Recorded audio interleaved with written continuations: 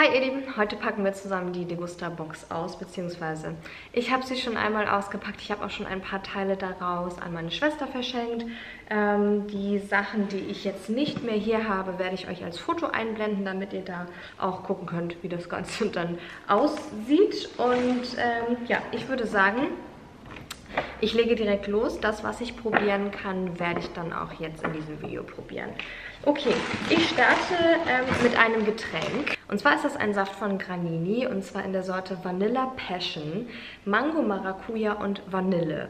Ich weiß, ich hatte von Granini vor ein paar Monaten in einer Box auch schon einen Saft mit so einem zusätzlichen Geschmack, wie hier zum Beispiel der Vanille, den man eigentlich nicht in einem Saft erwartet. Das war überraschend lecker. Ich kann mich jetzt allerdings nicht mehr erinnern, welcher Saft das war. Aber ich meine, es war nicht dieser hier. Auf jeden Fall werde ich den jetzt einmal kurz probieren. Ähm, also Maracuja-Saft mag ich gerne. Mangosaft mag ich nicht so gerne, weil mir der, also Mangosaft ist so ein bisschen sämig, wenn man das so sagen kann mag ich persönlich nicht so gerne, also vom Geschmack nicht, von der Konsistenz nicht. Und Vanille kann ich mir darin jetzt auch irgendwie nicht so vorstellen, aber wir probieren mal. Es riecht auf jeden Fall hauptsächlich nach Mango.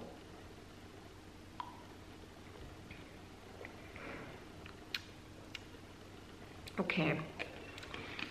Also man schmeckt deutlich sowohl Mango als auch Vanille, als auch diese säuerliche Maracuja. Also es kommen alle drei Geschmäcker sehr gut raus.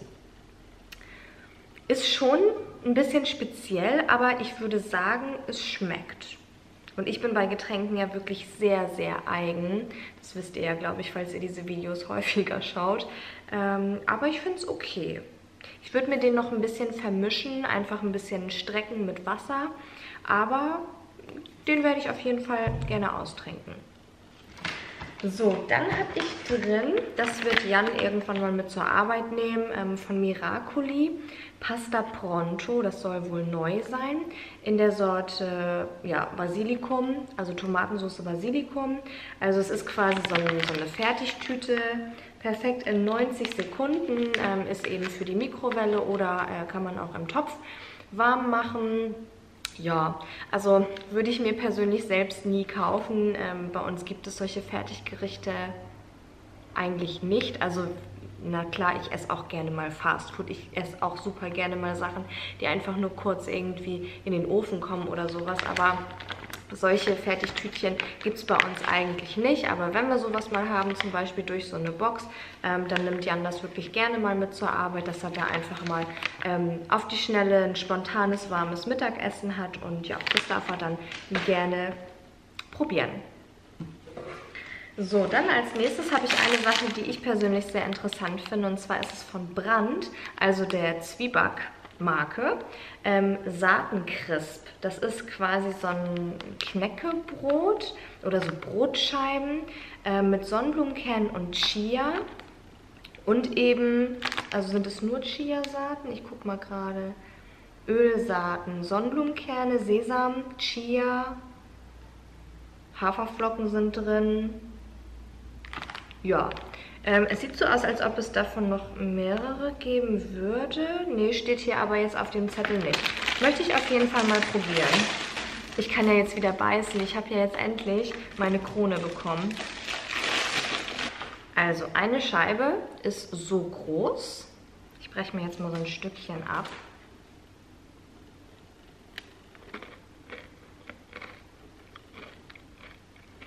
Mhm. Mhm. Also solche ähnlichen Produkte gibt es ja schon lange von vielen verschiedenen Marken. Also falls ihr sowas ähnliches schon mal gegessen habt, so ein Körner-Knusperbrot, genauso schmeckt es. Ich finde, die schmecken alle sehr ähnlich. Ähm, ich mag es persönlich super gern. Es ist sehr proteinreich und gesund oder relativ gesund. Also ähm, ja, das finde ich auf jeden Fall super. Gut und lecker werde ich sehr gerne behalten. Dann habe ich als nächstes ein Produkt, das wird Jan auch wieder bekommen. Und zwar von der Marke Turm. Ähm, Milchpause nennt sich das. Eiskaffee-Geschmack. Also das ist so ein Milchmix-Getränk. Ähm, die Marke kenne ich persönlich nicht. Ich gucke mal, gibt es davon noch andere Sorten? Nein. Ähm, ja, persönlich, ja, ich persönlich mag keinen Kaffee. Mir schmecken keine Getränke, wo irgend, die irgendwas mit Kaffee zu tun haben. Ähm, selbst wenn es Kakao oder sowas wäre, würde ich es nicht trinken, weil ich, also Milch, ich mag keine Milch einfach. Ähm, deswegen, ja, darf Jan das probieren, da wird er sich aber drüber freuen. Im Gegensatz zu mir mag Jan diese Sachen alle sehr, sehr gerne. So, dann habe ich jetzt nochmal wieder was zum Probieren und zwar eine neue Pringles-Sorte. Die nennt sich Sizzlin Medium äh, Kicking Sour Cream. Das soll wohl ähm, ja, ein Pringle sein. Sour Cream Pringle gibt es ja auch in der normalen Variante, aber ihr seht es schon, diese Teufelshörnchen in scharf. Und ich persönlich mag scharfe Chips ziemlich gerne. Ich bin mal gespannt, wie scharf der jetzt sein wird. Also Medium steht hier drauf, es wird wohl nicht allzu scharf sein. Den gibt es übrigens auch noch in unterschiedlichen Varianten. Ähm, es gibt Spicy Barbecue und Cheese and Chili Extra Hot. Okay, also dann habe ich das ähm, geringste, dann habe ich den geringsten Schärfegrad auf jeden Fall erwischt.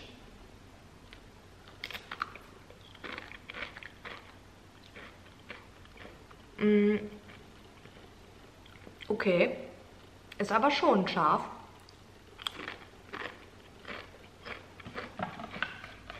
Mm. Also sind quasi genau diese original Sour Cream Pringles, aber eben noch zusätzlich mit Schärfe versehen. Also Medium ist schon nicht ohne, würde ich sagen. Es ist jetzt nicht schlimm, Mm, aber es ist auf jeden Fall scharf. Und ich schätze mal, äh, Spicy und Extra Hot wird dann schon wirklich sehr scharf sein. Also, ja, schmecken aber gut. Kann man, kann man mal machen. So, dann habe ich als nächstes, das ist das Produkt des Monats ähm, von Reese's, ähm, Peanut Butter Cups. Das ist jetzt kein neues Produkt, das habe ich auf jeden Fall schon mal gesehen. Ähm, das sind eben solche, also zwei solcher Schokotörtchen sozusagen mit ähm, Erdnussbutterfüllung. Ich glaube, irgendwann hatte ich die schon mal probiert. Oh Gott, die sind jetzt ganz weich. Sollte ich vielleicht lieber in den Kühlschrank legen, aber einmal zum Probieren. Also so sehen die von innen aus. Man sieht deutlich die ähm, Erdnuss Erdnussbutter. mm. Oh, die sind lecker. Mm. Mm, die sind sogar sehr lecker. Ich bin jetzt nicht so mega der Erdnussbutter-Fan. Also ich würde mir Erdnussbutter jetzt nicht aufs Brot schmieren. Aber so in Kombination mit Schokolade Mmh, das schmeckt sehr gut. Also das kann ich weiterempfehlen. So, dann, ach ja, das habe ich ähm, nur auf dem Foto, weil ich es schon weiter verschenkt habe. Von Sunquick gab es wieder diese Eistütchen. Ähm, da gab es ja in der letzten Box Milcheis und jetzt ist es eben Fruchteis. Das gibt es in ähm, ganz vielen verschiedenen Sorten. Ich hatte jetzt die Sorte Erdbeer erwischt. Also das sind solche ähm, kleinen Päckchen, die man einfrieren kann und dann habt ihr eben ein Fruchtwassereis. Ähm, ich hatte die schon mal probiert, ich fand die nicht schlecht, bin jetzt aber kein Mega-Fan davon, also ja. Meine Schwester wollte die gerne haben und das durfte sie dann auch. Sie wollte sie allerdings nicht zum klassischen Eisessen nehmen, sondern zum ähm, so Daikiri mixen. Könnte man, glaube ich, auch ganz gut dafür verwenden. Ja. Für alle Ü18. Gut, dann ähm, hatte ich noch drin, habe ich ihr das auch, ja doch, das hat sie auch direkt übernommen, ähm, von Milford ein ähm, Eistee. Und zwar, ich weiß gar nicht mehr, welche Sorte ich hatte. Ich glaube Zitrone, na ihr seht es auf jeden Fall. Es gibt ähm, auch hier vier verschiedene Sorten. Und das ist eben ein Tee, den man sich einfach mit kaltem Wasser aufgießen kann und dann eben so als Erfrischungsgetränk ähm, trinken kann. Ja, bin ich persönlich nicht, also ich bin kein Tee-Fan, weder heißer Tee noch kalter Tee. Mir persönlich schmeckt es einfach nicht so gut. Ja, aber ich habe, wie gesagt, ich habe einen Abnehmer gefunden. So, dann habe ich hier noch drin ähm, Waffeln von Loaca. Und zwar diesmal in der Sorte Zitrone. Knusprige Waffeln mit Zitronencreme. Ähm, ich weiß ich nicht. Also ich werde sie jetzt nicht probieren. Ich werde sie, ich werde sie zulassen und verschenken. Ich, also ich kann mir vorstellen, dass das ganz gut schmeckt. Ganz, ganz erfrischend auch so ein bisschen schmeckt.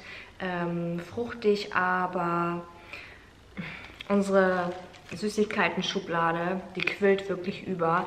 Und ich glaube, ich mache da lieber jemand anderem mit. Eine Freude vielleicht meiner Arbeitskollegin. Zwinker, zwinker.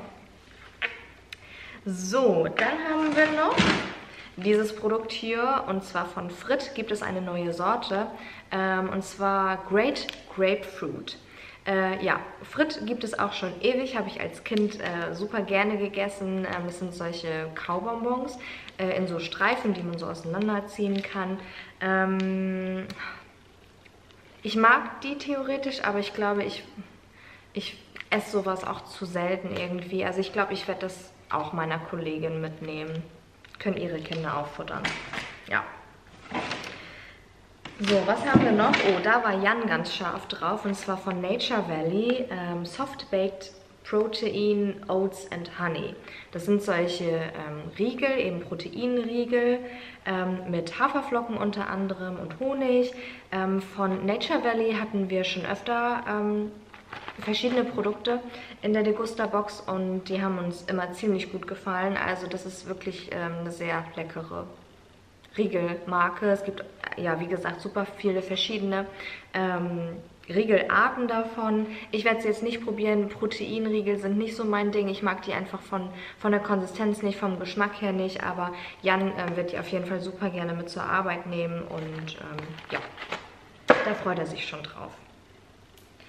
Das vorletzte Produkt kann ich euch noch live zeigen. Das habe ich nämlich behalten. Und zwar ist es von Becks. Ähm, ich weiß gar nicht, ob es eine neue Sorte ist. Auf jeden Fall nennt sich das Becks Unfiltered. Das ist ein naturtrübes Pilz, also ein naturtrübes Bier. Ähm, ja, das habe ich direkt behalten. Ich mag ähm, super gerne Biermixgetränke, also Alsterwasser, Radler, bin ich ein Riesenfan von, liebe ich total.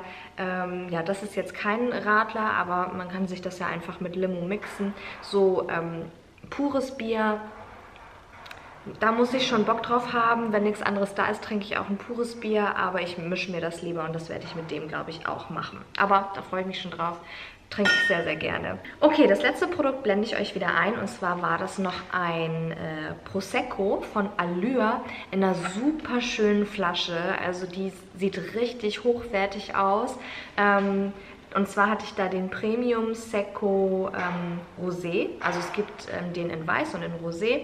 Und äh, ja, meine Schwester hat sich drüber gefreut. Äh, die trinkt das ganz gerne mal. Ähm, ja, ich bin nicht so, also ich bin eher der Bierfreund als so Prosecco, Sekt, Wein. Kann ich überhaupt nichts mit anfangen. Also trifft irgendwie überhaupt nicht meinen Geschmack. Aber ja, dafür eben die Geschmäcker von anderen, von genug anderen Leuten. Von daher, ja, habe ich das auch sehr gerne weitergegeben. Okay, also, dann äh, komme ich zu einem kleinen Fazit. Ich finde die Box diesmal wirklich ziemlich cool. Ich habe einige Produkte, die ich richtig gut finde. Also einmal dieses Saatenbrot. Ich glaube, das ist mein Favorit zusammen mit den Reese's. Die schmecken mir richtig, richtig gut. Die ähm, Chips finde ich auch ganz cool. Ähm, der Saft schmeckt mir auch ganz gut. Also das sind so Sachen, die ich mir auf jeden Fall da rausnehmen werde.